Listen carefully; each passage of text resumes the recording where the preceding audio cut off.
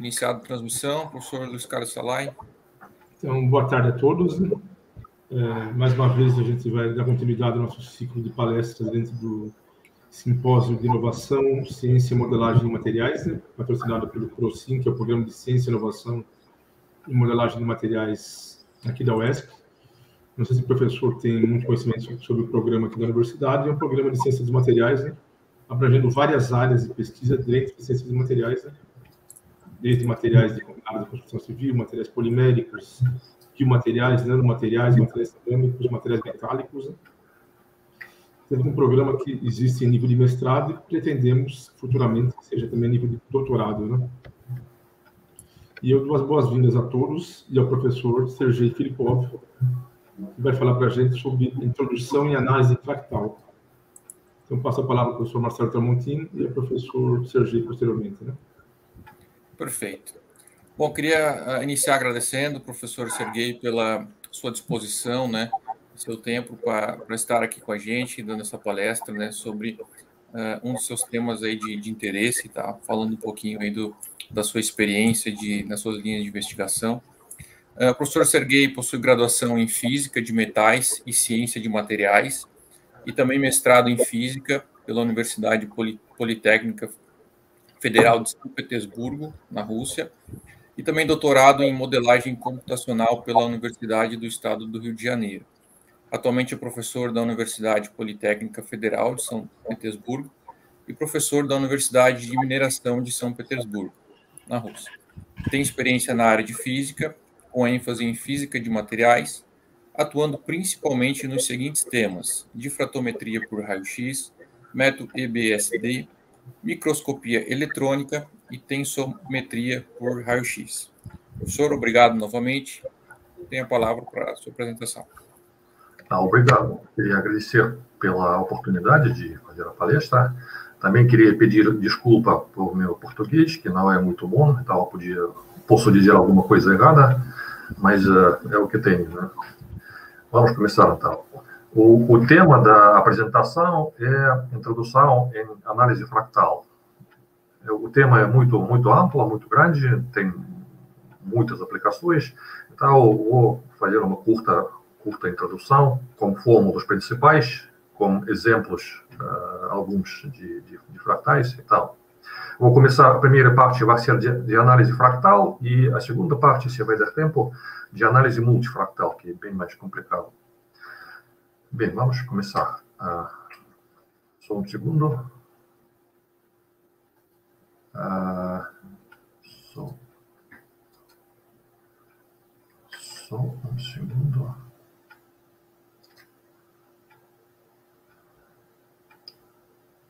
Ah. Eu acho que estou. Well. Uh,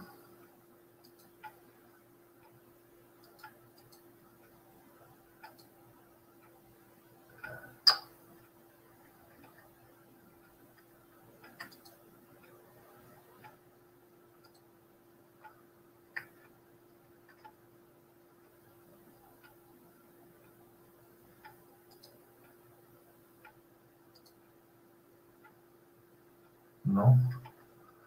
Só, desculpe, só um segundo. Já, já está aparecendo aqui, professor. Está sim, no. Sim, tá, tá.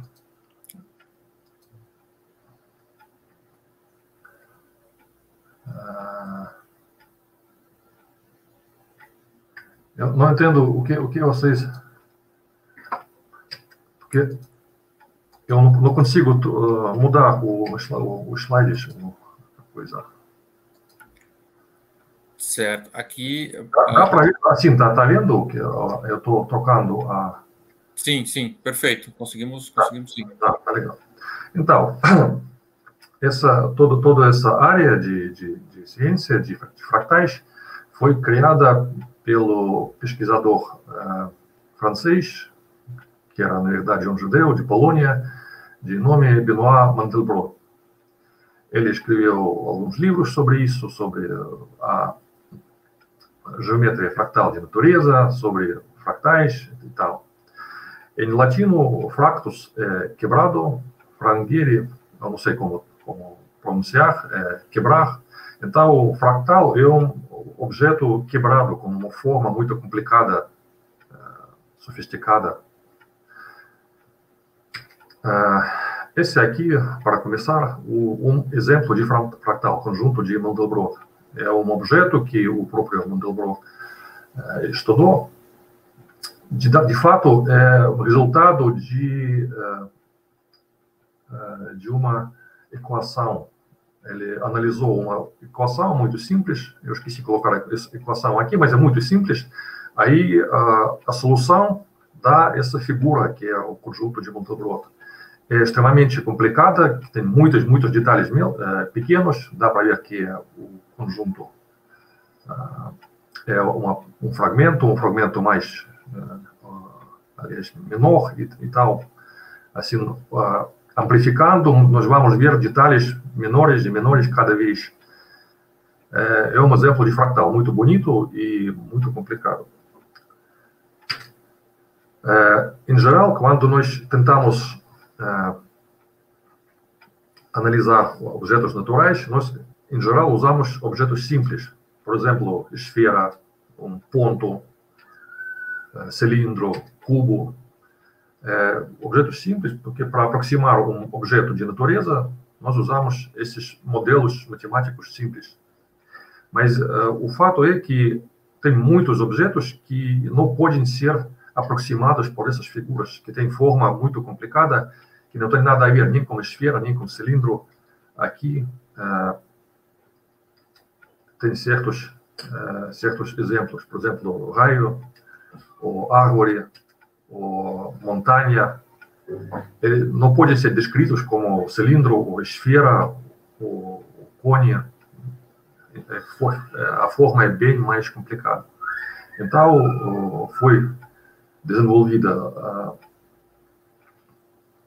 a, a, essa, essa área de, de fractais, que são objetos com autossemelhança. Ou seja, é um objeto que se trocar uma escala, ele reproduz ele mesmo. Ou seja, esse objeto fractal possui simetria dilatacional. Né? Eu vou, vou, falar agora sobre isso. De fato, tudo começou uh, com estudo de comprimento da linha costeira. Foi na década de 50, no século passado. Um uh, pesquisador inglês tentou medir e obteve resultados incríveis. Vamos ver como, como medir essa, essa, esse comprimento. Por exemplo, nós temos uma régua e nós pedimos, queríamos medir a, a distância entre esse ponto e esse ponto. Nós colocamos régua, só que dá para ver que uh, não tem muito a ver com a realidade, porque o comprimento da linha costeira é bem maior. Isso, assim, um resultado inútil. Então, nós precisamos usar uma régua menor. É, o primeiro, é, essa primeira medição é, dá para nós o primeiro valor. Esse L0, L majúsculo, é a escala, a régua. Esse L minúsculo, zero, é o primeiro resultado, o primeiro comprimento. Aí, pegamos uma régua menor e temos um resultado uh, mais aproximado à realidade que é L1. Ou seja, a escala de L1 nos dá o valor do comprimento de L1 minúsculo. Também é longe da, da, da verdade, mas é mais, mais, perto um pouquinho. Aí pegamos uma régua menor ainda, de L2. A escala é L2. E obtemos um resultado mais aproximado à realidade. Então, é o terceiro valor, L minúsculo 2 assim adiante e diminuindo o, a escala, diminuindo o tamanho da régua, nós vamos ter o resultado mais próximo à, à, à verdade. Só que o que acontece é que o resultado final é, pode ser descrito por essa fórmula. Ele é a escala que nós usamos, L0 é a primeira aproximação, e diminuindo a escala, o ele, ele minúsculo aqui, desculpe, errei, ele minúsculo, esse vai, a, vai ser infinito. Ou seja, esse comprimento, matematicamente, será infinito. Isso parece um absurdo, mas é a verdade. A matemática tradicional não diz nada sobre isso. É um objeto bem diferente. É uma linha, é uma linha finita entre dois pontos, mas o comprimento dessa linha é infinito. É muito estranho. Aqui, uh, um resultado de medições para uh, essas fronteiras costeiras diferentes para a Austrália, australiana, africana, fronteira da Alemanha, da Inglaterra. Aqui o logaritmo do, do uh, comprimento total e aqui o logaritmo da, da escala, do, da régua.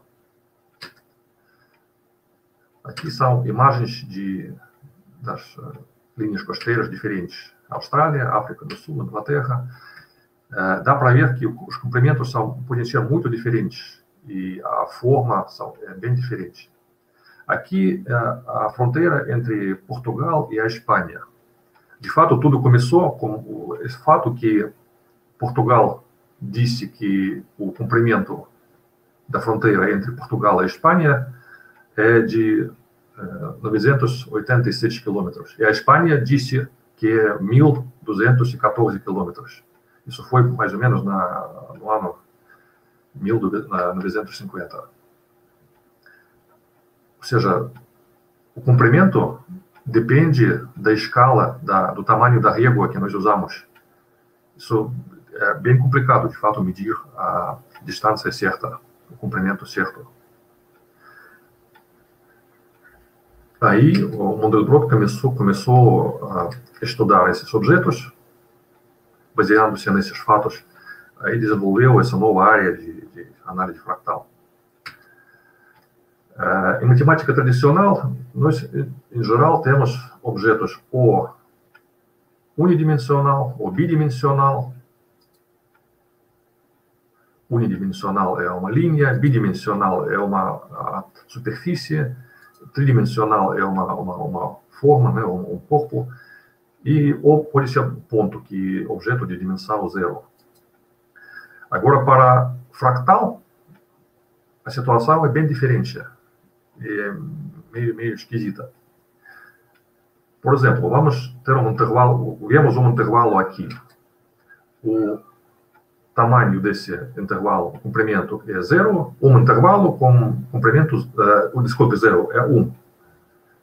Uh, um intervalo e o comprimento é um. Dividimos ele em, em três partes. Então, temos três intervalos com tamanho de cada de 1 dividido por 3. Então, o número de intervalos vezes o comprimento de cada intervalo é 1. Agora, um quadrado. Um quadrado de comprimento 1, dividimos em 9 partes, com comprimento 1 dividido por 3. Então, temos 9 quadrados e n vezes uh, L elevado a 2 também dá 1. A linha é um objeto unidimensional, então aqui é L. Aqui é L quadrado, porque é objeto bidimensional. Agora, dá para imaginar que aqui no caso de cubo, esse número de cubinhos pequenos, vezes comprimento elevado a 3, vai dar 1. Porque é um objeto tridimensional. Ou seja, aqui é 1, uh, aqui é 2, aqui é 3. Aqui é unidimensional, bidimensional, tridimensional. Então, podemos escrever uma fórmula assim. N vezes L elevado a D é igual a 1. E esse D é a dimensão do objeto. Aqui é 1, aqui é 2, aqui é 3. A fórmula mais complicada é assim: de fato, D é um limite. Esse é o número de objetos menores e aqui é o, o comprimento de cada objeto.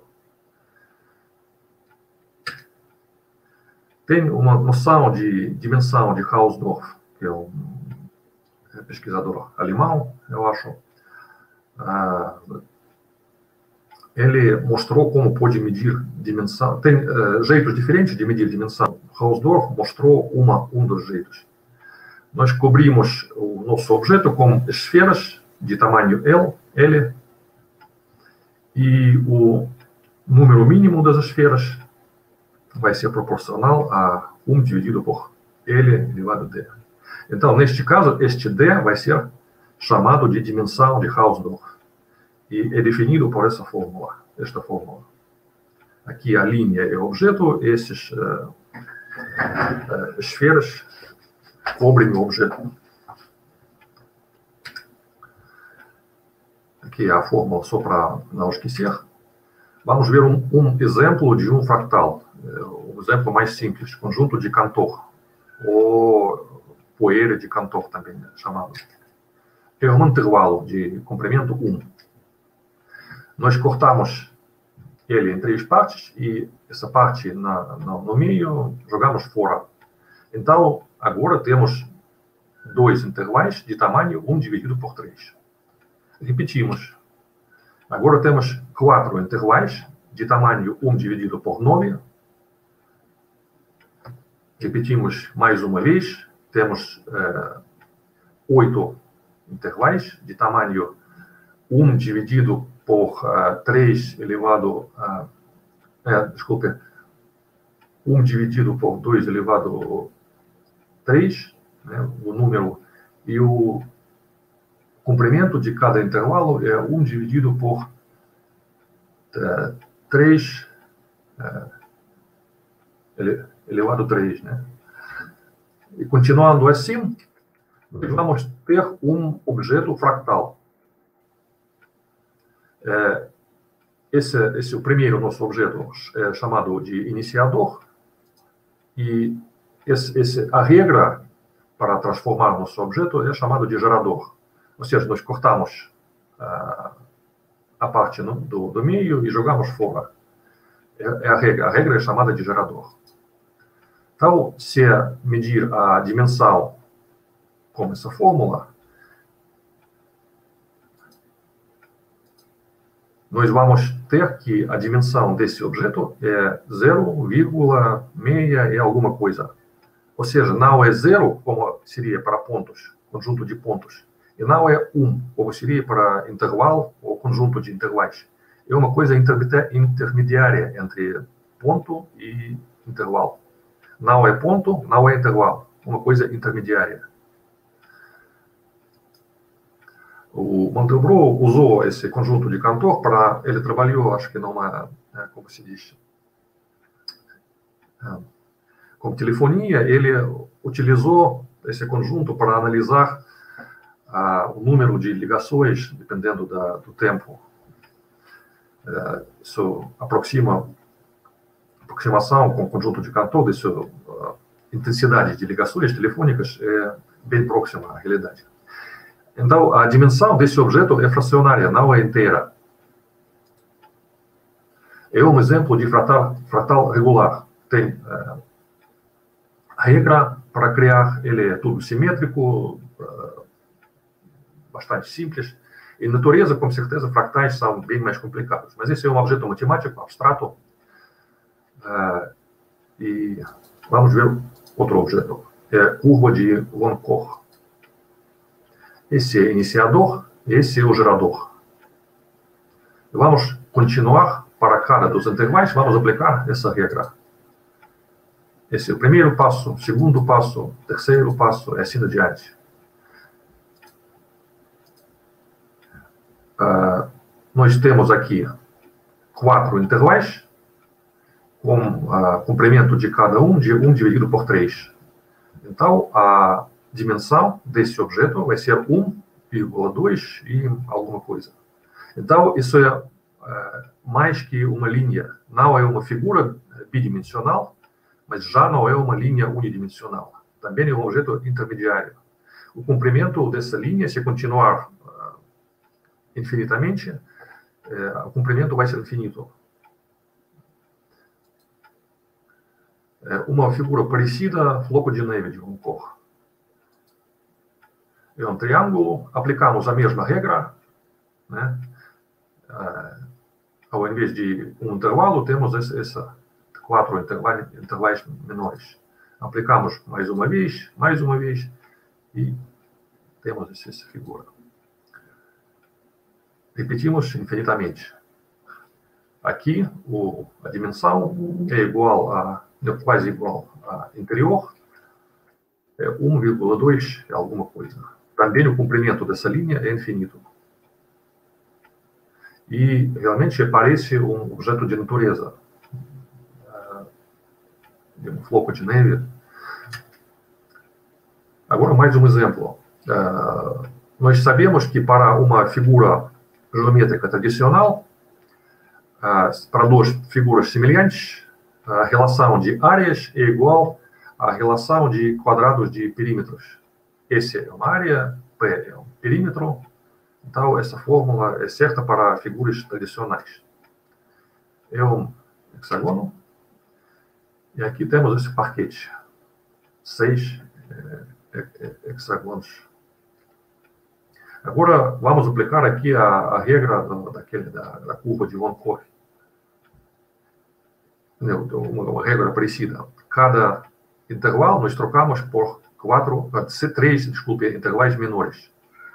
O comprimento era 1, e agora esse 1 dividido por raiz quadrada de 7. Para cada dos intervalos vamos obter uma figura desses. Agora, o perímetro dessa figura é três vezes maior que o perímetro de cada, cada figura menor. Isso é fácil para medir. E a área vai dar, de essa figura maior, vai dar nove áreas de, da, da figura menor. Devia dar. De fato, a área é, são é, de, da figura maior dá sete áreas da figura menor. Então, essa, essa fórmula aqui não funciona. E a dimensão fratal aqui vai dar 1,12 alguma coisa.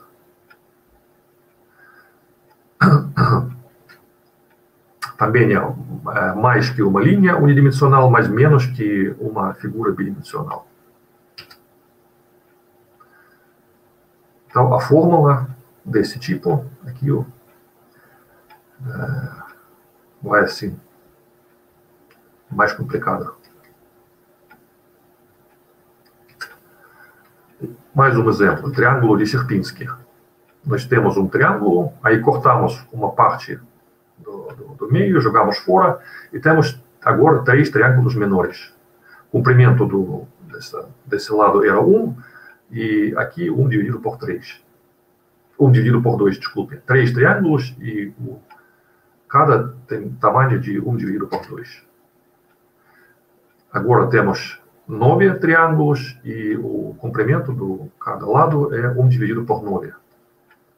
Assim adiante, infinitamente, e temos esse triângulo de Sierpinski.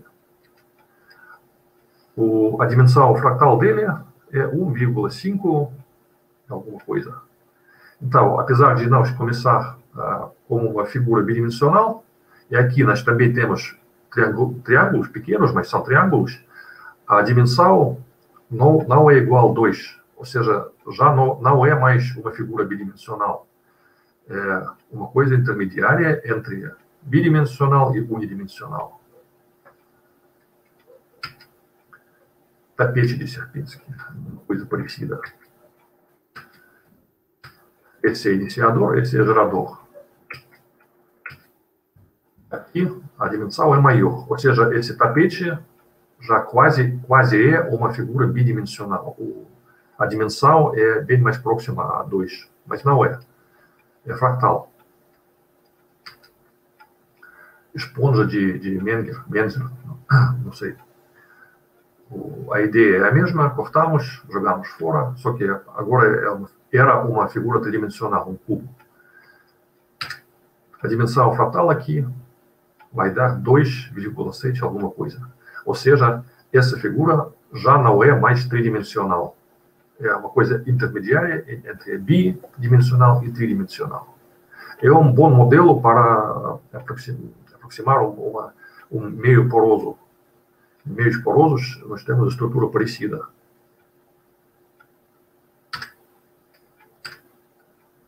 Mais um exemplo, curva de piano.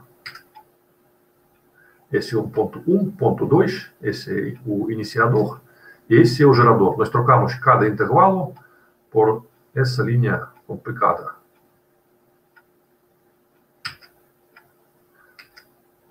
Então, um quadrado vai dar essa figura, e a dimensão aqui vai dar 2.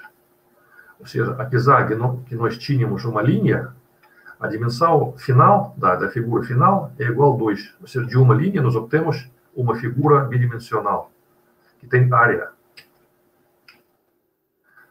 Um exemplo parecido, curva de Gosper. Esse é o iniciador, essa é a regra, o gerador. É isso que nós obtemos. Repetindo infinitamente. Aqui a dimensão também é 2. Ou seja, de uma linha, de um intervalo, nós obtemos uma figura bidimensional. E dimensão aqui é 2, mas é um objeto fratal. A densidade de pontos aqui é tão alta que uh, preenche o, a área toda. Mais um exemplo bonito é o universo de uh, Fourier. O Fourier era um uh, escritor ou jornalista, já não lembro, que inventou um, um, um, mundo, um universo que tinha uma estrutura dessas. Tem uh, uma estrela em volta dela tem mais quatro estrelas.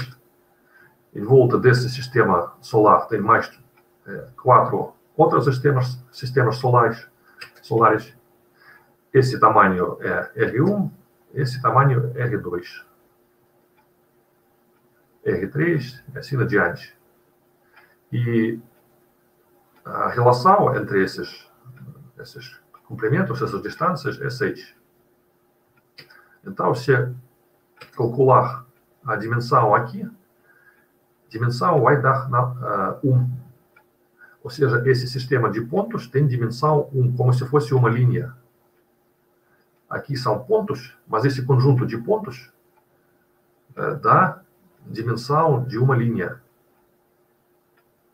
Se eu olhar só para a dimensão, nós podemos dizer que é uma linha, mas não é, nem parece. o paradoxo da noite escura. A intensidade de, da radiação eletromagnética é proporcional de 1 dividido por R quadrado, né, para uma fonte pontual, onde R é a distância entre a fonte. Então, aqui temos Terra, e aqui R é uma distância muito, muito grande, e uh, número de estrelas numa esfera de raio R deve ser proporcionada para a área dessa, dessa superfície dessa esfera. Né? N é o número de estrelas, esse é a área. A área é proporcional a R elevado a 2.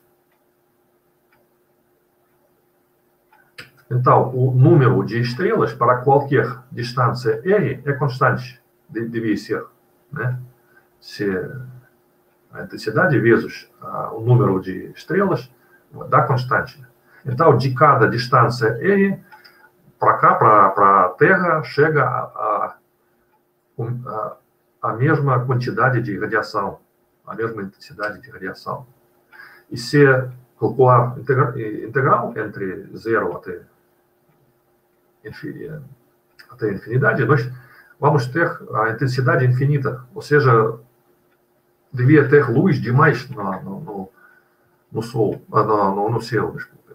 Nós nem podíamos ver o nosso Sol, mas no noite, nós sabemos que as noites são escuras, nós podemos ver algumas estrelas, mas uh, tem pouca luz. Né? Então, quando esse é para o universo infinito, estático e com distribuição uniforme das estrelas. Então, descobriram que essa distribuição das estrelas não é uniforme, ou seja, essa fórmula não, não funciona, não está certa. Quando calcularam ah, essa distribuição das estrelas, descobriram que na verdade, esse número é proporcional a R elevado a 1,23 e não é R elevado a 2. Ou seja, nossa, nosso universo também é fractal. A distribuição das estrelas não é, não é uniforme, tem é, dimensão fractal. Então, uh, não tem uma definição completa de, de fractal, mas tem uh, certas propriedades de fractal. Fractal sempre é autossemelhante, ou para fractais reais, que, que existem na natureza, é aproximadamente autossemelhante. O, qualquer fractal possui dimensão métrica fracionária ou então sua dimensão métrica é maior que a dimensão topológica, ou seja, como fosse na, naquela uh, linha de Gosper, que é uma linha com dimensão 1 era, mas uh, o fratal tem dimensão 2. E sua estrutura não é trivial em qualquer escala. Ou seja, não simplifica-se quando diminuímos a escala.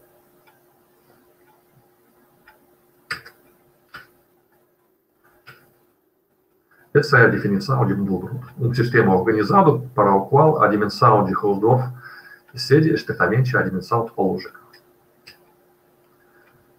Aqui, por exemplo, o conjunto de Cantor. O, a dimensão de pontos né, é uma poeira de Cantor. A dimensão de, de cada ponto é zero, mas a dimensão do, do objeto é 0,6 alguma coisa essa dimensão de Hausdorff é maior que a dimensão topológica. A dimensão topológica é zero, a dimensão fratal é 0,6. Para essa curva de Oncor, a dimensão topológica é 1, porque é uma linha, e a dimensão fratal é maior que 1.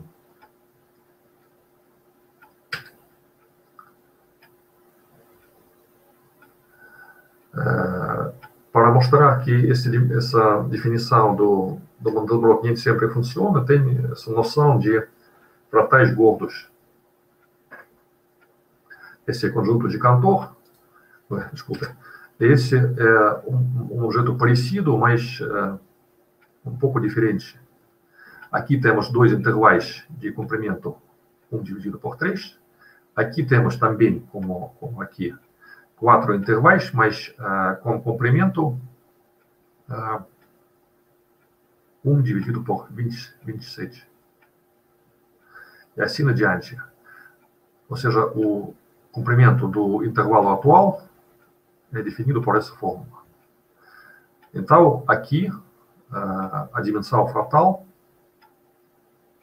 vai ser igual a 1. É fratal, mas com dimensão 1. Então, esse definição do Mandelbrot nem sempre funciona, de fato. Eu não vi uma definição completa de fratal, só propriedades. Em qualquer jeito, sempre fratal é uma estrutura não trivial, com estrutura muito complicada.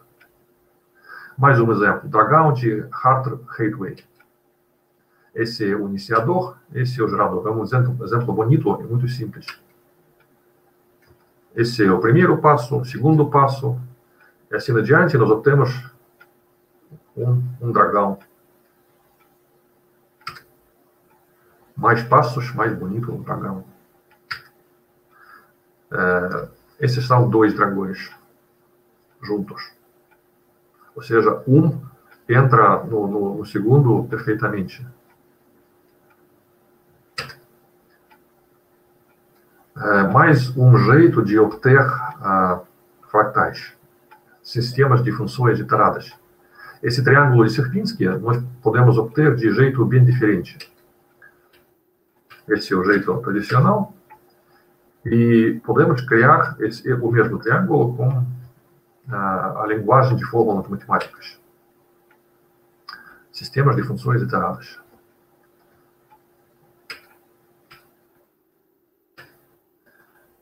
Aqui, os coordenadas Aqui são 0,0, 1,0 e esses.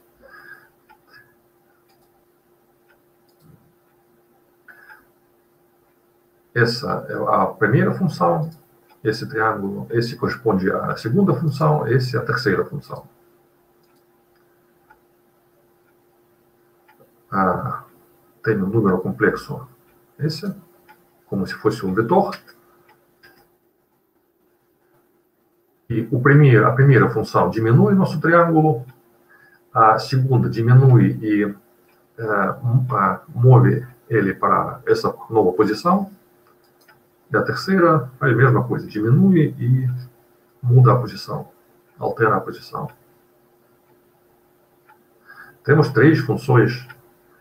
A primeira cria desse triângulo maior esse triângulo, a segunda cria esse triângulo e a terceira cria da, do primeiro, do nosso triângulo maior, esse, esse, esse triângulo menor.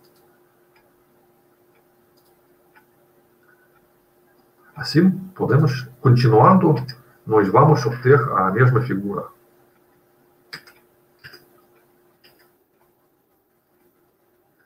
Não importa uh, que, que, figura, qual figura nós temos no início. Nós podemos pegar um quadrado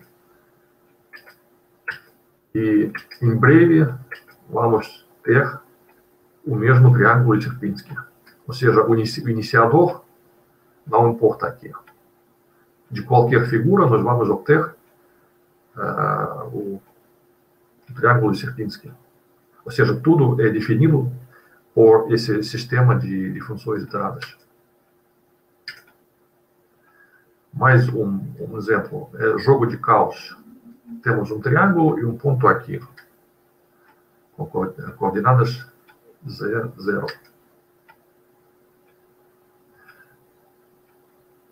escolhemos uh, esse ponto A, que é o mais próximo ao nosso ponto, e no meio desse intervalo colocamos novo ponto. Depois, ponto aqui. Aliás, podemos escolher qualquer desses pontos, A, B, C, e sempre colocamos ponto no meio do intervalo.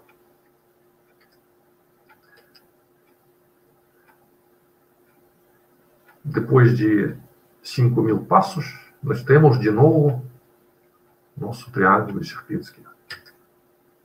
10 mil passos, 10 mil pontos. 50 mil passos. Ou seja, nós nem precisamos cortar esse triângulo em três partes jogar fora. É só colocar pontos utilizando uma, uma regra simples. Esses são coordenados do, do, do, desses pontos A, B e C. Essas são as funções. Metade do, do intervalo.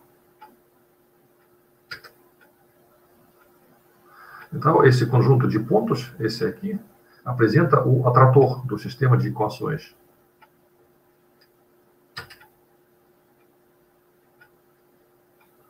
Essa é uma equação para iterações. Né? Nós calculamos um, objeto novo utilizando essa fórmula.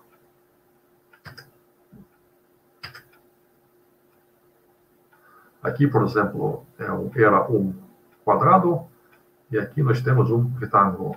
Né? Multiplicando coordenadas desses pontos, como essa matriz, nós temos um retângulo. Aqui, do retângulo, nós temos essa figura. E aqui geramos essa figura. Alterando os valores aqui, nós podemos obter, de fato, qualquer figura que, que nós precisamos.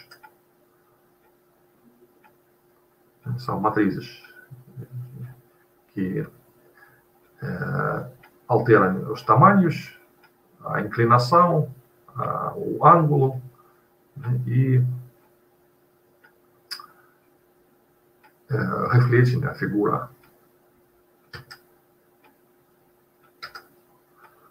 É um exemplo bonito também de Samambaia. O sistema de equações aqui é bastante, não é complicado, mas os coeficientes são assim, não triviais.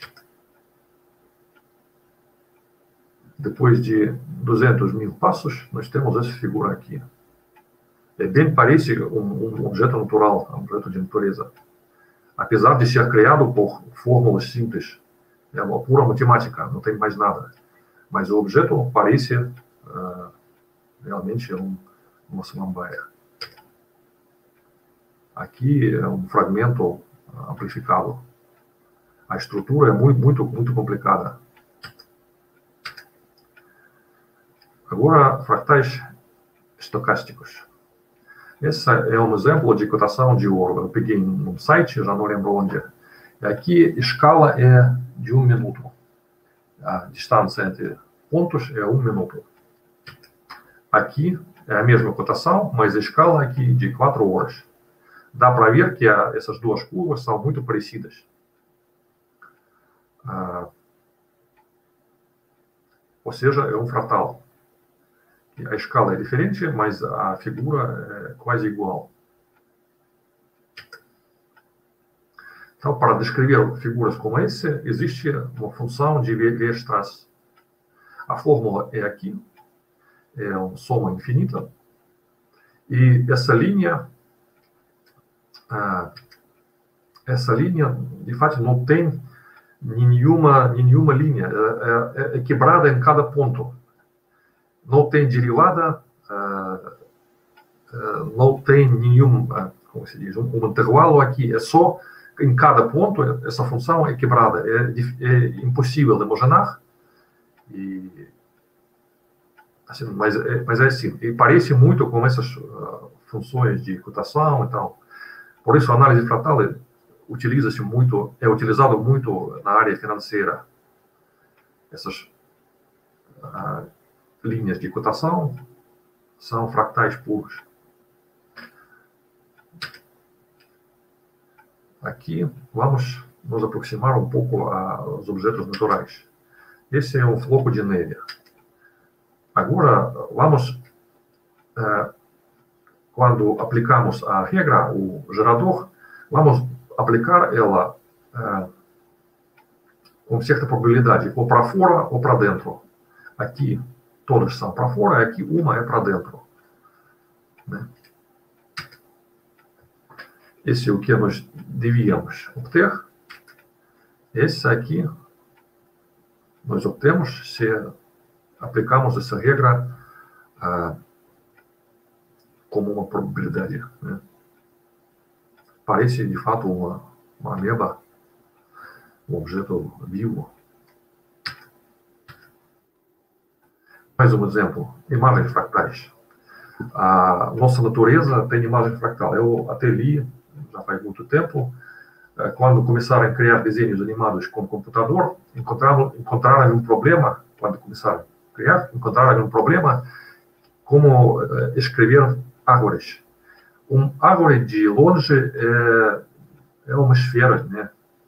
E de perto ele tem muitos pouquinhos, muitos uh, como se diz, folhas, né? E a partir de certo momento, eles, assim, de longe você vê como uma esfera, de perto você vê como um objeto de estrutura complicada. Então, onde é a fronteira, onde você para de ver uma esfera e começa a ver a árvore. E para escrever é, esse de jeito certo, começaram a usar fractais. Ou seja, aproximando-se à árvore, você começa a ver detalhes mais pequenos. Mais próximo, detalhes mais pequenos. Isso começou aí, muitos objetos, muitas uh, paisagens e tal, que são criados com essa análise fractal. Vamos ver o algoritmo. Aqui é um quadrado. Né? Em cada ponto aqui, nós temos um valor. Por exemplo, uma altura ou uma cor. Aí nós calculamos valores aqui. Aqui, aqui. Aqui é o valor média entre C1 e C2. Aqui, esse C2, 3 é um valor média entre C2 e C3. E assim por diante.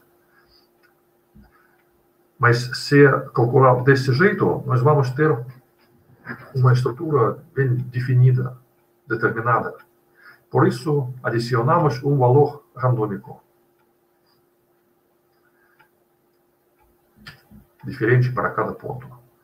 E assim adiante, cortamos esses quadrados e calculamos. Então, aqui é um exemplo de imagem fratal. é uma matemática pura, assim, mas parece uma coisa, sei lá, de natureza. Aqui mais um exemplo, se nós é, considerarmos esses valores como altura, nós temos uma paisagem. Em cada ponto nós temos sua altura. Né? São montanhas. Também é uma matemática pura. Não tem nada mais. Ah, tudo, de fato, esse, essa análise fractal é, é baseado em, na, em física. Então, é usado muito, pode ser aplicado muito em termodinâmica. Geralmente, alunos da faculdade aprendem no curso de, de termodinâmica sistemas fechados, processos reversíveis, e que equilíbrio sempre leva para a ordem e desequilíbrio lembra, lembra a caos. A, a entropia sempre a, só cresce. Na realidade, a grande maioria dos sistemas são abertos e não são fechados. Ou seja, pode trocar, trocar energia com matéria, com seu ambiente. Os sistemas podem exportar entropia, ou seja, entropia pode diminuir no sistema. E dissipação de energia em sistemas abertos pode levar a estruturas complexas. E quando nós temos esse caso, uh, nós podemos ter uh, um, um, uma forma fratal do, do sistema. Aqui, por exemplo, fratal natural. Árvore é um exemplo típico de fratal. Né? É, é um sistema autossemelhante. O Leonardo da Vinci, na, na sua época, adivinhou que a área, se nós cortarmos a árvore numa certa altura, é, área de todas as seções, soma de todas as áreas, de todas as seções de paus, é constante. Ou seja, nós podemos cortar aqui, ou aqui, ou aqui. Os diâmetros vão diminuir, mas a área continua constante. E é verdade, de fato. Então, se a soma das áreas é constante, então essa fórmula está certa, onde D é diâmetro. Essa é a fórmula para dimensão fractal. Calculando, nós temos que a dimensão fratal da árvore é 2. A árvore é um fratal com dimensão inteira. Ou seja, a árvore é um objeto tridimensional, é, aliás, ele é, é ele existe no espaço tridimensional, mas é, o, a dimensão dele é 2, como se fosse uma figura bidimensional. Esse é exemplo de raízes. Também é um exemplo perfeito de objeto fractal. Mais um exemplo, rios. Também é um fractal natural.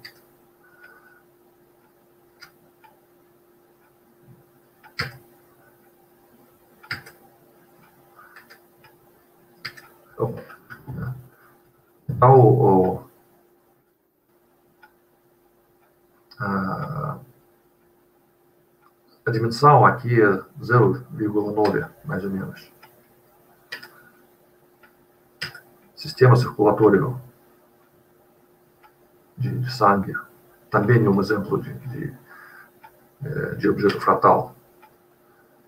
Esse, a dimensão fratal é mais ou menos 2,7. Ou seja, é quase 3 é porque o, o nosso sistema circulatório preenche quase o nosso corpo todo. Se fosse três, preenche o corpo todo, mas é um pouco menor. Ah, mas isso é o que precisa para levar o oxigênio, a alimentação para todas as células do nosso corpo.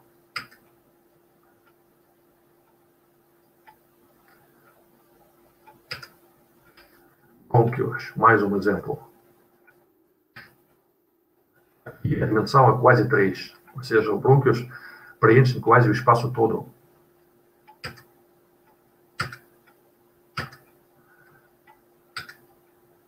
Ah, como medir experimentalmente a dimensão, a dimensão fratal? esse, de acordo com a definição de Hausdorff, nós temos que uh,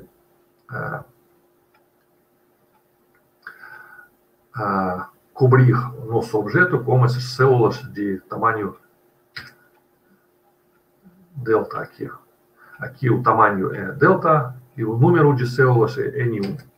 Aqui tamanho é delta 2 e o número é N2. Delta 3, N3, cada vez diminuindo o tamanho da, da, das células. É assim, com esse gráfico,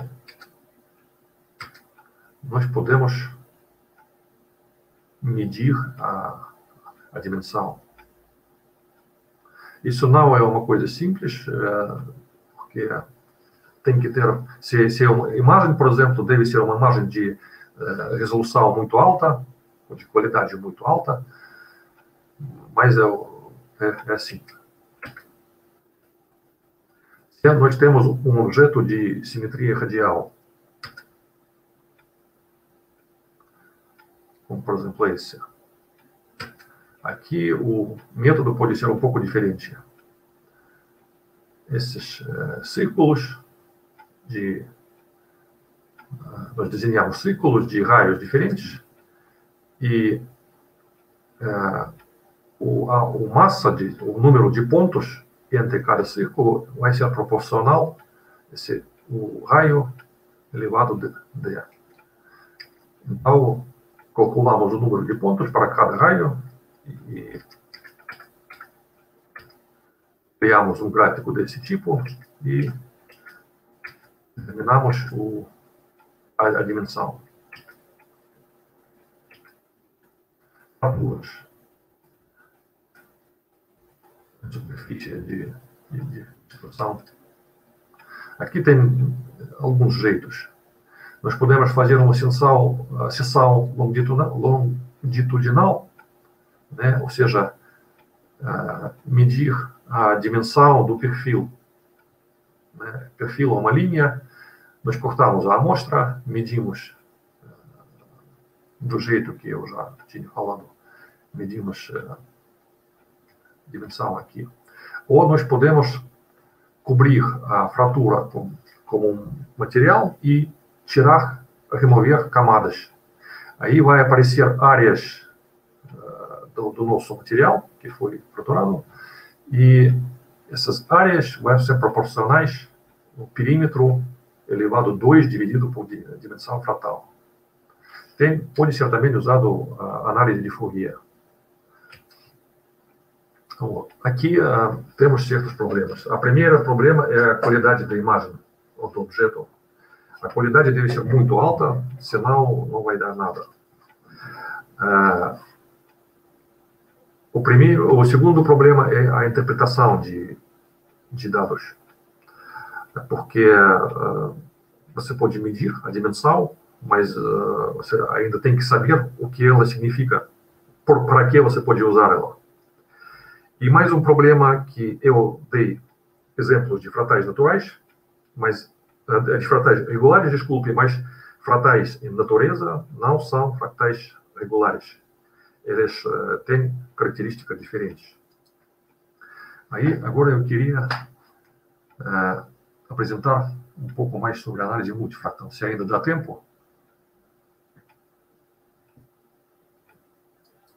Uh,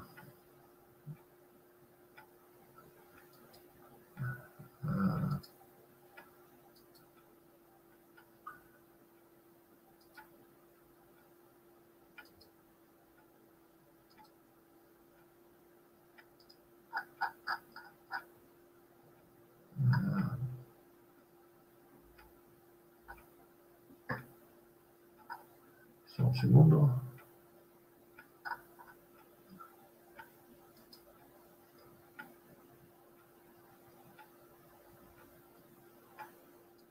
A partir daqui. Ah.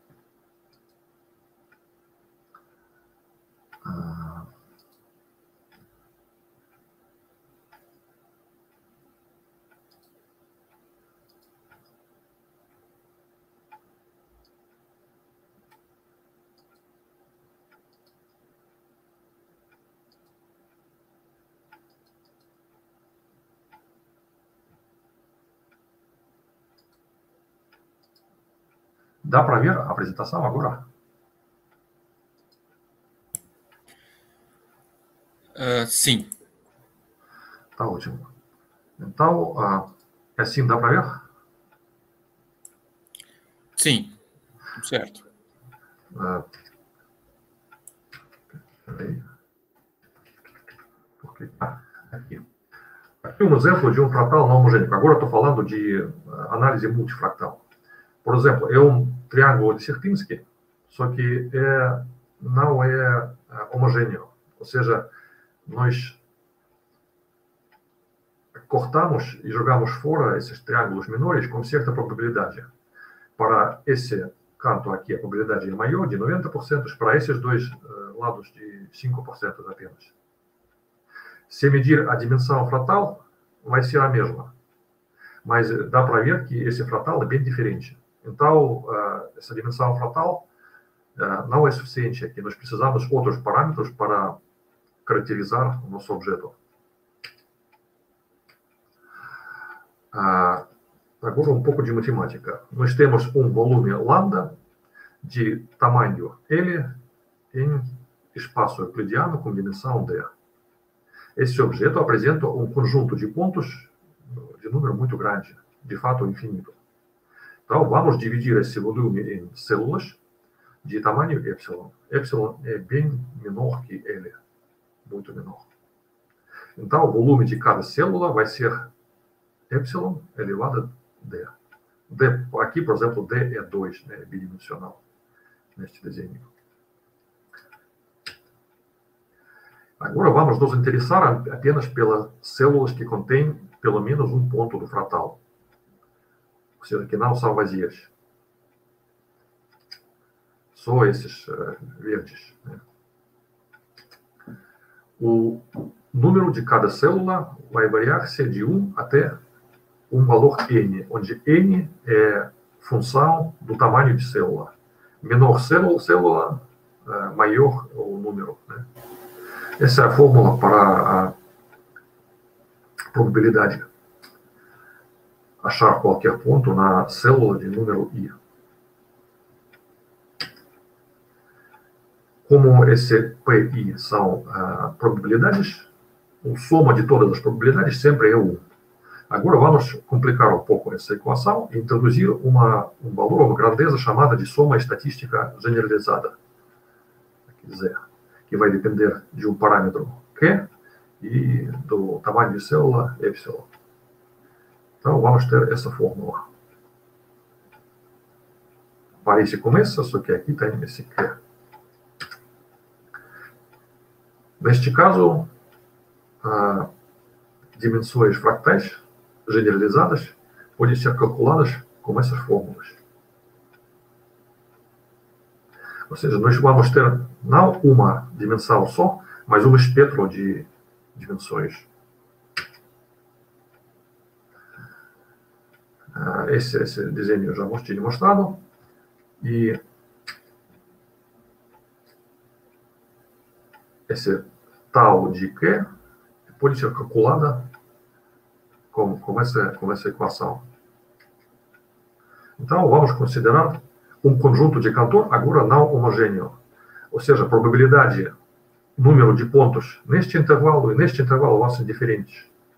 Aqui a probabilidade P1, aqui a probabilidade P2. Aqui o número de pontos é P1 vezes P1 vezes N, aqui P1 vezes P2 vezes N, e assim adiante. Ou seja, esses intervalos não são mais iguais. Aqui, o, essa soma generalizada vai ser, uh, vai ter essa forma. Ou seja, esse, esse binômio de Newton. Né?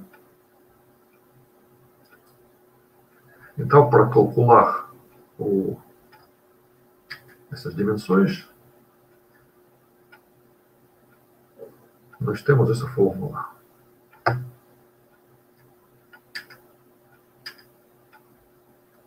Para fractal homogêneo, monofractal, esse P1 é igual a P2, ou seja, dois intervalos são totalmente iguais. Senão, Ah, neste caso, a dimensão, esse espectro de dimensões, vai dar o mesmo valor que nós já tínhamos. É uma dimensão, é a dimensão fratal do conjunto de Cantor.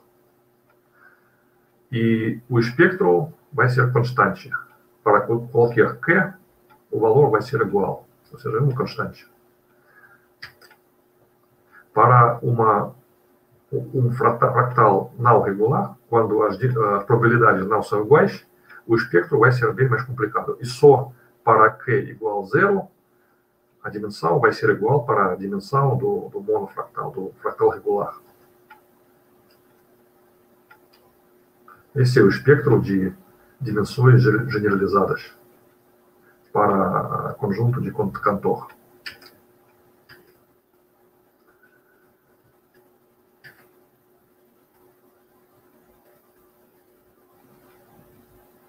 Para monofractal, ou seja, um fractal normal, o conjunto de Cantor, o triângulo de Sierpinski, as fórmulas vão ser essas. Essa soma generalizada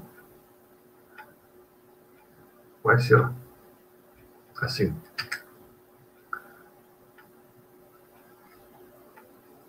E calculando esse espectro de dq, nós vamos obter d.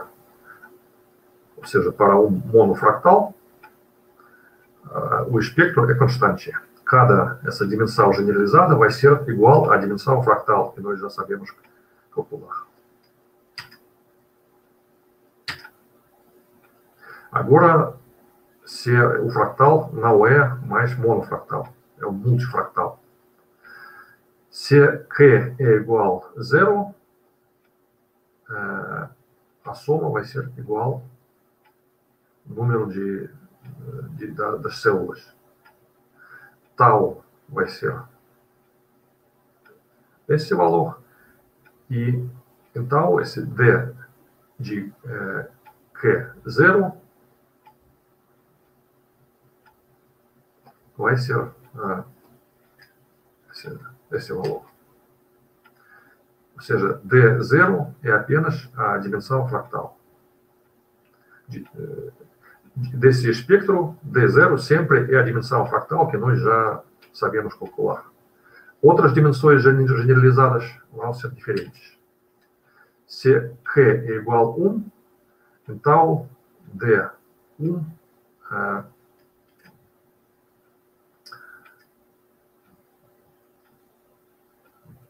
vai, pode ser calculado por essa fórmula. é a entropia do sistema, de fato. A entropia é calculada por uma fórmula muito parecida com essa. Ou seja, D1 é a entropia do sistema.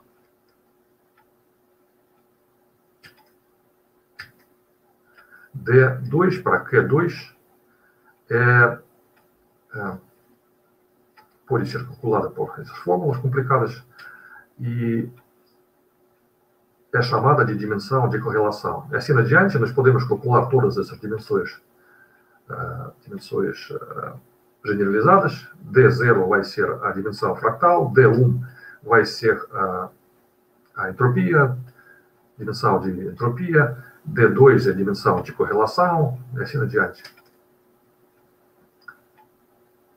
Aqui é o espectro do, do conjunto de Cantor não homogêneo. D0 é igual à dimensão fratal, e outros valores são, são diferentes.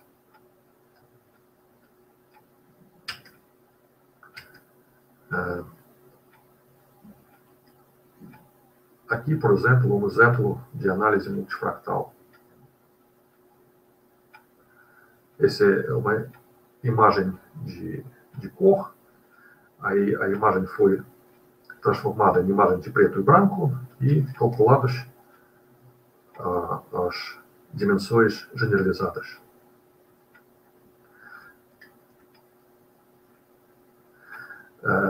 As dimensões generalizadas, de fato, não são dimensões fractais, são generalizadas, é uma coisa diferente.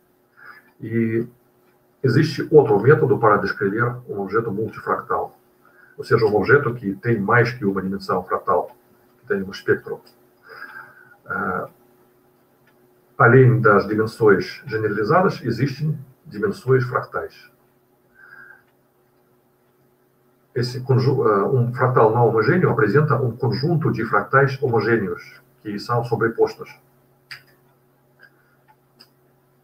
Essa probabilidade é proporcional a esse tamanho de célula epsilon elevado a um valor alfa i. Alfa é chamado de índice de singularidade. E número uh, de células que depende de alfa é proporcional a epsilon elevado a menos f de alfa. E esse f de alfa é espectro de singularidades. Uh, com certeza, esses dois espectros de, de dimensões generalizadas e dimensões fractais são ligadas. E são ligadas pela transformada de Legendre. Ou seja, se nós sabemos um espectro, podemos calcular outro. Ou ao contrário.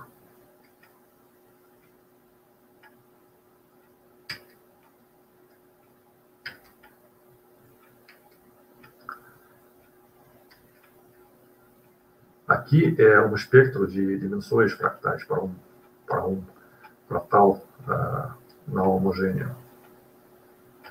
Aliás, uh, esse é dimensões generalizadas, essas são dimensões fractais. Bem, o, uh, eu terminei. Obrigado pela atenção. Se, se tiver algumas perguntas, estou pronto para responder.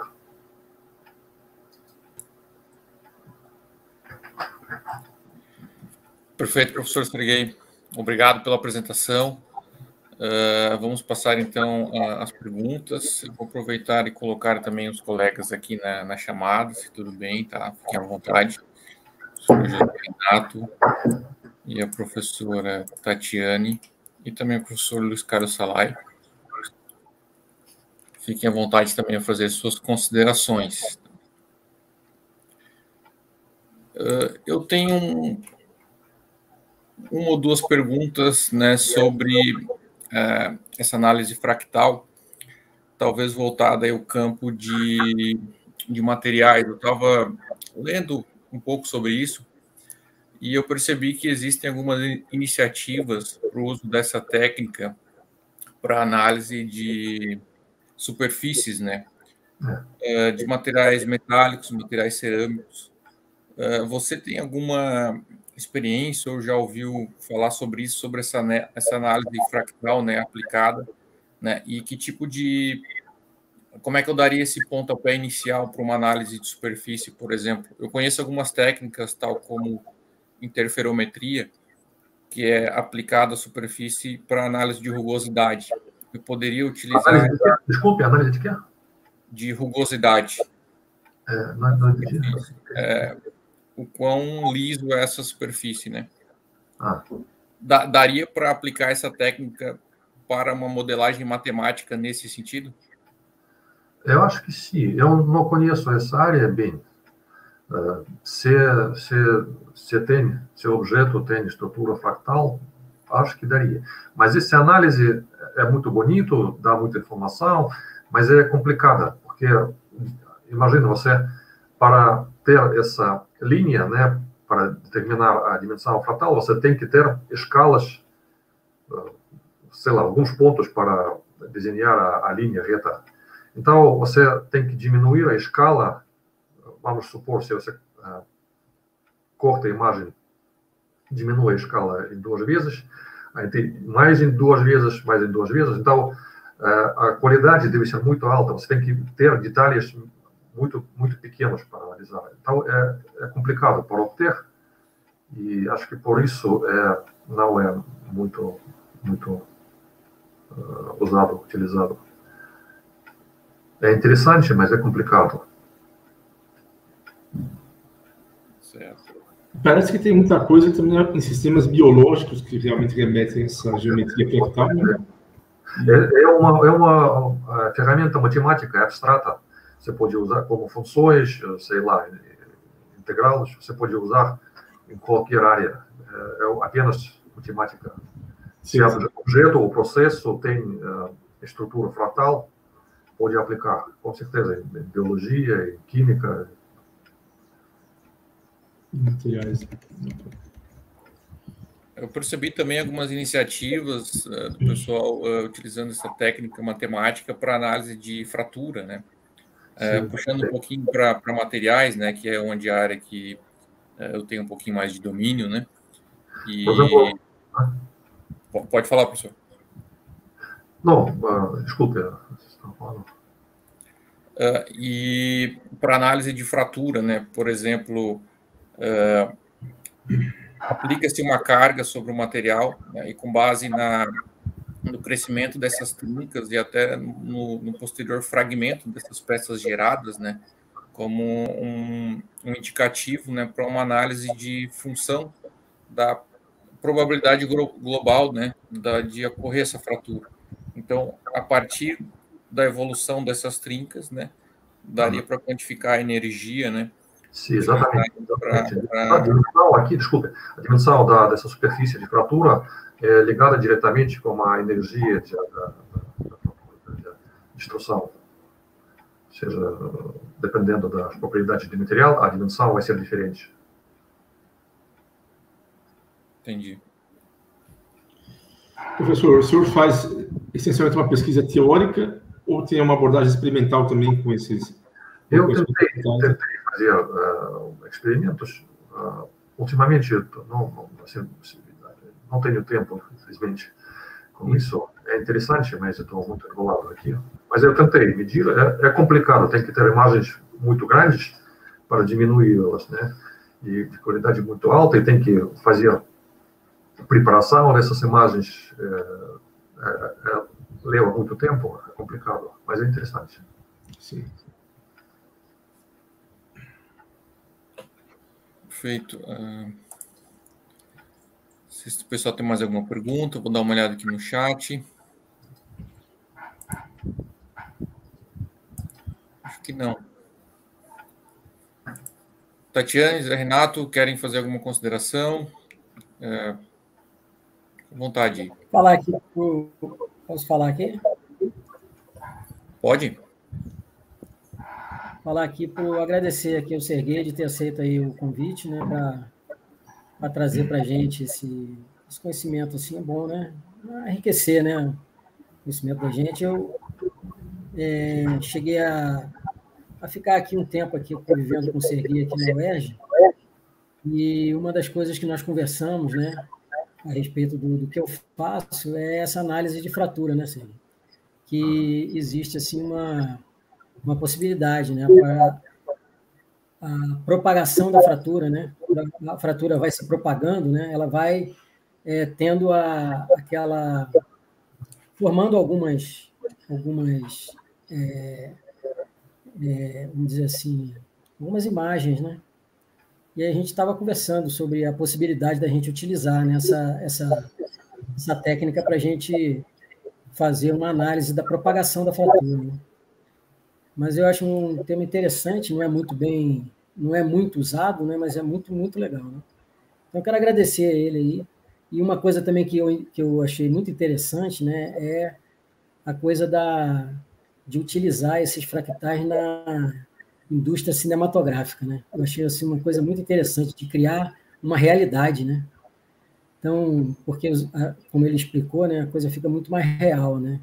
E com certeza existem filmes aí que a gente está vendo que está sendo usado essa técnica de fractais que a gente nem sabe, né? Eu, Obrigado posso, aí, Sérgio. Obrigado, professor. Eu posso comentar mais um pouco só um, um, um fato interessante? Claro reconhecimento de imagens é também uma coisa que eu tinha lido. Uh, uh, os militares que, que devem reconhecer, sei lá, tanques, uh, canhões, né, cobertos. Isso aqui, a análise fratal também ajuda, porque todos objetos construídos por homem têm dimensão inteira e objetos naturais têm dimensão uh, fracionária. Então, quando você analisando uma imagem, você pode diferenciar objetos de, construídos por homem, de objetos naturais por dimensão fratal, ou seja, achar um tanque coberto, né, ou coisa assim. É só, é só isso. Perfeito. Olha, eu também queria agradecer ao professor Serguei tá, pela sua palestra. Trouxe uh, um conhecimento um pouquinho do que a gente está, um pouquinho diferente do que a gente está habituado, né? Para tirar um pouquinho a gente da zona do conforto também. Uh, essa análise fractal eu percebo que é utilizada uh, em algumas técnicas para caracterização dentro da área de materiais. Então, isso surge como um pontapé inicial e uma motivação né, para que a gente possa estar uh, se aprofundando no tema, né? E tentando buscar e conciliar essa modelagem matemática, essas teorias, né, também no nosso campo de investigação. Então, é isso. É... Eu gostaria de agradecer ao professor pela palestra né, e a todos envolvidos, né, ao longo de todas as palestras, Marcelo, Tatiana todos que estiveram envolvidos na organização desse evento. Né, foi também bem sucedido como o anterior, né, nesse nosso simpósio de Ciência, Inovação e Modelagem de Materiais, o segundo simpósio. Espero que se repita anualmente, cada vez mais com sucesso, o atual e os anteriores, do anterior. Né? E agradeço a todos realmente pela Eu queria agradecer a todos pela oportunidade, pela atenção. Muito obrigado. Gente, foi um prazer para mim. Desculpe o, o português, que eu provavelmente não, não, não disse exatamente o que quis dizer. Não, fala muito bem português. Fala né? muito bem mesmo. Com certeza. E escreve também, né? Pois, verdade. Obrigado. Muito obrigada, professor, pela sua palestra. É, vou aproveitar para perguntar, assim, a partir de análise de microestruturas, a gente poderia investigar um pouco com essa análise? Pode. Eu não tinha dito, tem uh, métodos, jeitos muito diferentes, bem mais, bem mais sofisticados que eu apresentei. É, porque, como disse, é, é, complicado. A análise é interessante, mas complicado. Então, o pessoal inventa uh, novos, novos métodos, novos jeitos, tenta matemática mais complicada, né? combinando métodos diferentes. Mas, com certeza, para a microestrutura, isso é, é muito interessante. Muito obrigada. Então, a gente tem mais uma, mais uma ferramenta, né? Talvez muitos de nós né, não, não conhecíamos ou ainda não aplicamos, mas que pode ser citada lá nas nossas disciplinas de ciência dos materiais, análise e caracterização né, de novos materiais também. Com certeza. Bom, muito obrigada por, por aceitar né, o convite e participar conosco nesse dia. Obrigado a vocês. Foi um prazer para mim. Perfeito. Então, a gente gostaria de fazer um fechamento do, do evento. Professor Serguei, né, é a nossa última palestra, né? Uh, relembrar rapidamente aqui os nossos palestrantes e também os, os inscritos, né, alguns números do evento. Uh, Tatiane, você gostaria de apresentar ou, ou faço eu? Eu vou, vou verificar aqui como apresentar. Uh, vai ser por slide, só um minutinho. Aqui. Eu faço compartilhar. Desculpe, por favor, eu tenho que levar, levar a criança para dormir. Se, se eu, uh, posso, aqui já está, está tarde, você não precisa mais de mim, posso, posso ir? Oh, claro, professor, é, agradecemos aí pela sua presença, tá? E com certeza, fique, fique à vontade. Sim, professor, fique à vontade, fique à vontade. Muito obrigada pela sua presença. Muito obrigado para vocês. Obrigado. Um bom descanso, bom final de semana. Bom descanso, boa noite. Tchau. Tchau.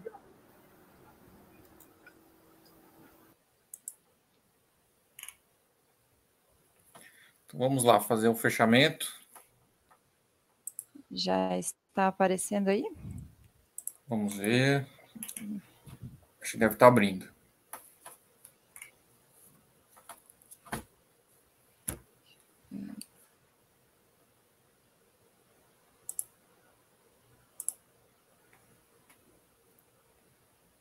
Deixa eu ver se foi.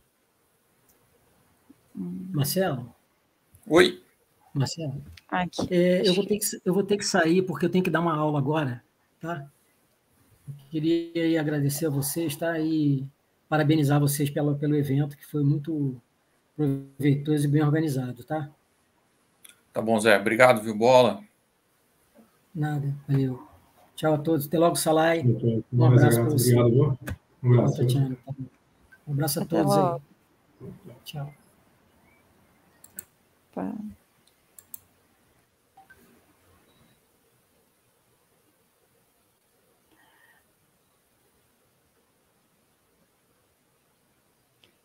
Eu não sei se está aparecendo bem aqui o modo de que eu usei para compartilhar, mas hoje então a, gente encerra né, a segunda edição do nosso simpósio e nesse ano oficialmente né, registrado como Simpósio Internacional de Ciência, Inovação e Modelagem em Materiais.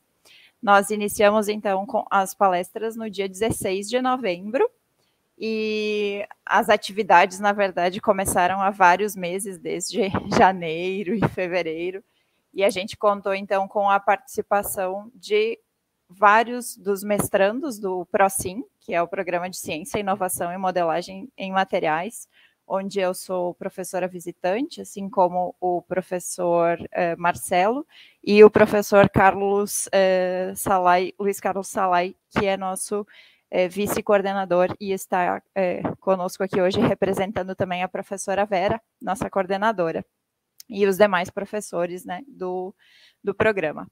É, as nossas palestras, então, a primeira né, foi a da professora Heloísa, que está na Université Paris-Saclay.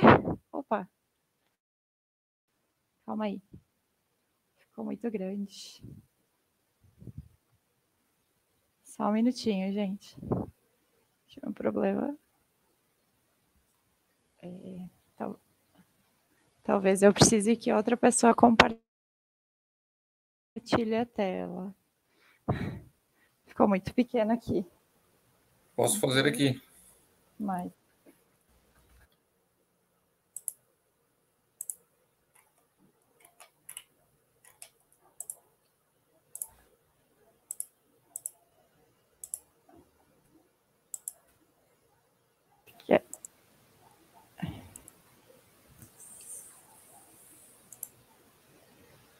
tela tem vida própria.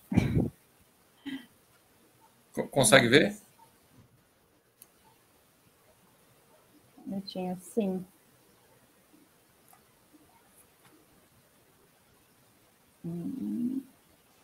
Pode aumentar só um pouquinho, talvez, né?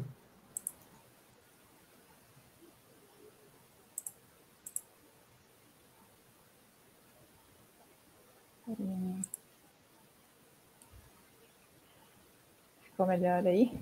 Ai, desculpa, gente. Então, é né, no primeiro. Oi? Acho que está comigo aqui a, a tela, Tatiane. Isso. A minha já saiu, né? Isso. Pode continuar. Então, é, a nossa primeira palestra foi lá no dia 16 com a, a doutora Heloísa, é, falando então de é, análises né, para distribuição de nanopartículas. Na sequência, nós tivemos o professor Dries, que é da Université do Mons, é, então ele né, falando da Bélgica, é, falou então sobre superfícies ativas para degradação de compostos orgânicos voláteis é, em ambientes internos, né? E trouxe, falou de fotocatálise, de diferentes processos. Na sequência, tivemos a palestra do uh, mestre Marcelo Martins, que né, falou, então, é, diretor da empresa Progemart, falando de serviços de engenharia é, na parte de análises estruturais, né, diagnósticos é, estruturais, análises não destrutivas. Então, trazendo aí também a, a questão de aplicação prática né, dessa, dessa questão analítica numa das áreas de ciência dos materiais aqui, que muitos dos nossos é, alunos, né, mestrandos, trabalham, que é na área de, de estruturas e, e concretos. Na nossa quarta palestra, tivemos o doutor Eric, da Universidade de Santa Maria, falando dos geopolímeros, né, como um, substitutos para o cimento uh, Portland. Então, é, ali mais né, para a área de, de concretos, mas trouxe muitas novidades na parte de geopolímeros e novos materiais. Seguimos com o doutor Afonso, é, da Universidade Estadual do Norte Fluminense, Darcy Ribeiro, falando então da aplicação de resíduos sólidos é, como materiais de construção, né? Então, é, as possibilidades, né? Ele trouxe desde a questão de, da Política Nacional de Resíduos Sólidos até as alternativas que a gente pode ter para aplicação desses resíduos. E na sequência, então, é, fechando, né, esta semana, nós tivemos na segunda-feira a doutora Rosen Leparc, da Université de Montpellier, é, falando da autoestruturação de materiais a partir de o estudo né, desses materiais a partir de espectroscopia vibracional. É, então, falando da questão analítica, né, teoria e des, de é, análise de materiais. E seguimos com o doutor Paulo, da Universidade Federal de Santa Maria, na aula que a gente teve de difração de raio-x na última quarta-feira para materiais cimentícios. E hoje, então, com o professor Dr. Sergei, da Universidade eh, Politécnica de São Petersburgo, falando então da parte de análise eh, fractal, né, uma, uma técnica para alguns de nós um pouco mais recente, e a soma né, dessas palestras todas, a gente é, transmitiu todas elas pelo YouTube e elas ficarão disponíveis no canal do ProSim. Então, a gente sugere né, que quem estiver assistindo é, é, se inscreva no canal e, e acompanhe né, todas as, as palestras desta edição e da edição anterior que estão disponíveis. É, até hoje, no caso, né, sem contar essa, essa palestra de hoje, a gente tinha aí um, um, total de 870 visualizações das palestras desta nossa edição, dessa segunda edição. E essa segunda edição, então, ela foi possível, né, com o, o trabalho da equipe do Procim, é, a estrutura né, que a gente tem aqui na UESC, né, o apoio das pró-reitorias, principalmente de extensão, né, um projeto de extensão cadastrado como projeto de extensão a partir desse ano, e o consulado da França, que é, lançou um edital lá no início do ano e possibilitou então que a gente fizesse essa interação com pesquisadores é, da França e que eles pudessem participar do nosso evento. A primeira intenção, claro, era que fosse presencial e a gente tivesse é, auxílio né, para a questão de viagens, passagens, enfim. Mas, em função da pandemia, mantido esse nosso formato é, online, né, a gente conseguiu, então, trazer vários pesquisa pesquisadores e professores e ter, então, as palestras com a tradução, que foi, então, é, via né, o apoio do consulado. Então, a gente tem esse, né, um resumo só do que aconteceu nos últimos dias. A gente tem muito a agradecer a, a toda a equipe do Procim e principalmente aos que trabalharam né, em todas as reuniões, desde preparação do projeto, preparação do material de divulgação, divulgação lá no Instagram, é, os, os monitores né, que é, permitiram né, que a gente tivesse aqui listas de presença, transmissões acontecendo, é, como moderadores aqui também das nossas, é, das nossas palestras, né, dos nossos encontros. Então foi um agora, né, as últimas três semanas mais intensas, mas foi um ano com várias atividades aí de preparação para hoje a gente chegar e poder é, concluir né, esse nossa, essa nossa segunda edição, na expectativa de termos uma terceira e várias outras, com a participação de mais é, alunos né, do ProSim, mais mestrandos e, e também é, outros, outros professores vindo aqui é, apresentar né, suas pesquisas e, e trazer um pouco da sua experiência para a gente. Então, eu gostaria de agradecer né, o apoio de todos, a oportunidade que a gente tem de estar tá, é, trabalhando também com extensão, né, e conhecendo tantos palestrantes, tantos é, professores de outros países que é, foram né, é, trazidos graças ao contato de professores do Procim, é, de professores da UESC e outras instituições que fizeram nessas indicações. Então, é, hoje a gente conclui, eu creio que com sucesso, e gostaria de agradecer a, a parceria, né, em nome de todos os professores, principalmente quem está aqui na tela comigo agora, o professor Marcelo, o professor Luiz Carlos, e professora Vera e Miriam, que estiveram também bastante envolvidas é, na preparação. Vou deixar Agora... a palavra com vocês, que eu já falei muito. Agora a gente continua trabalhando com a emissão dos certificados, né, os participantes do, do nosso evento, né, então todos que responderam à lista de presença terão o certificado é, do nosso congresso, que agora tem, a partir dessa edição, né, caráter internacional, então, a ideia é, é internacionalizar o nosso programa e também o, o, o nosso evento. Né?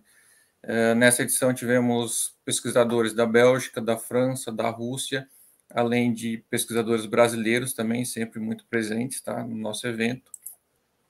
Uh, eu queria agradecer aos monitores que sem eles não teriam acontecido né, esse evento, ao Danilo, a Lorena, a Rízia, ao Anderson, a Mariana, ao Lucas, ao Jorge, Aleph, William, Suânia e os demais. Peço desculpas se eu não mencionei alguém, né? Mas tem uma equipe grande por trás desse, desse evento que faz é, de fato acontecer nos, nos bastidores e aos quais somos uh, muito gratos, tá? Tivemos um número excelente de inscritos, né? E de visualizações, tá? Uh, considerando aí no total do evento, excelente. Então, acho que superamos as expectativas. E espero revê-los aí no, na próxima edição, no ano que vem, aí na nossa terceira edição.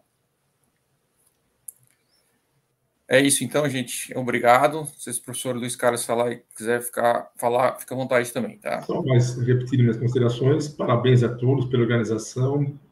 Marcelo, Tatiana e toda a equipe. Realmente um evento de sucesso, como foi o ano passado. Repetindo esse sucesso esse ano e espero que no próximo ano tenhamos um evento tão bom quanto esse daqui, né? Parabéns a todos e muito obrigado. Isso é muito importante para o nosso programa de pós-graduação e para o conhecimento geral dos, dos ouvintes, dos professores, para a interação, colaborações né, de aprendizado. Né? Então, parabéns novamente. Né? Obrigado, pessoal. Muito Espero que tenham gostado. Uh, sextou, né? Então, bom final de semana a todos aí desde já. Tá bom, obrigado. Final de semana. Lembrem das, das fichas aí de presença né, para os certificados e acompanhem o canal do Procim, temos lá várias é, palestras e também apresentações dos nossos professores de, né, de suas pesquisas e também de atividades realizadas nos laboratórios. Então, é, é conheçam mais do Procim.